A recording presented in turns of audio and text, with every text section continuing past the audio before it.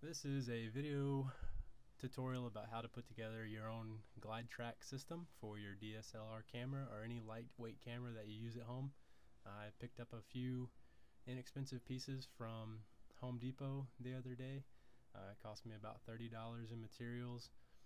Um, glide track system is used for smooth panning shots, very cinematic look uh, that some of you may be trying to achieve. I actually captured all this footage after my glide track system was done. First piece you're going to need is a 24 inch drawer slide. You can pick these up in various lengths. I went ahead and uh, got a 24 inch to so I could get the maximum amount of uh, glide track. Um, some wooden blocks for support. This will go underneath your your slider. This is the main accessory. It's going to go on top. It needs to be lightweight. I used a 3 by 3 inch. Um, it's like a press board. It's lightweight. Uh, that way it doesn't interfere with the glide because this will be mounted on top of the track. Um, you'll have to basically work that piece in advance by taking your quarter inch bolt that you can mount your camera to. Take your quarter inch bolt, find the length that's right for you, and screw it up through the 3 by 3 inch piece and secure it with a nut and washer.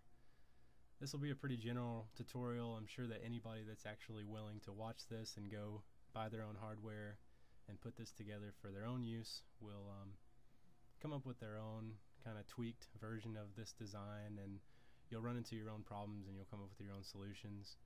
Um, make sure your power drill has a very small bit that way because you're going to be using small lightweight screws. Um, I use number four screws. Uh, find these in the hardware aisle at Lowe's or Home Depot.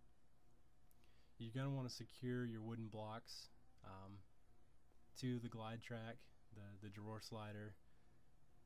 Uh, the drawer slider that I purchased, it came with um, holes already in the track, so I, I didn't have to to screw through any metal or anything like that. Make sure those pieces are nice and square and level um, two screws will secure it uh, nice and strong, won't be a problem in the future. Make sure you use two screws unless you for some reason want these wooden blocks to be able to turn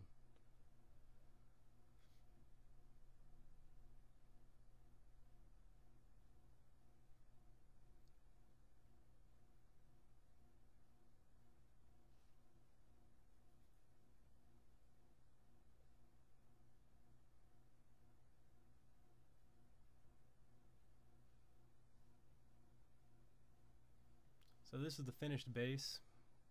This is going to be your main support. You want this to be uh, nice and weighted. One thing that you might find helpful in the wooden blocks or your base support is to to have a heavier or denser wood because that weight is ultimately going to de decide how sturdy your rig is for your slide system. You don't want to slide your camera off to one end and and one leg come off the ground and you get a shake make sure everything's nice and balanced. Um, you'll have to flip your base support upside down and secure the, the camera mount. And like I said, this is a pretty general tutorial. Um, if you have any questions, be just you know you can ask me in the comments and I can give you some more detailed answers. But hopefully you'll be able to figure out how to put all this together, how it's best suited for you. This is how the camera will mount on top of your slider. You can get uh, shots going forward and backwards and also shots panning from side to side. The camera that I use to shoot this footage is a Rebel T2i. Shot it with the kit lens. and no color correction was added. These are some shots of the, the finished rig. I hope that this tutorial helps. I hope that you can find a way to make it work for you and achieve the same kind of look. Uh, thanks for watching.